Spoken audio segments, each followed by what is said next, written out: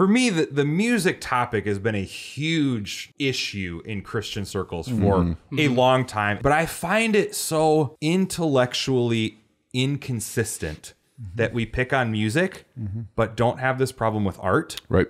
We don't have this problem with restaurants. Yeah. Uh, we don't have this problem with chairs that you sit on or clothes that you or like so many other areas of life. Why don't we if if that is really true, then we better apply that across the board. Like that's that that would seem to make sense to me anyway. Mm-hmm.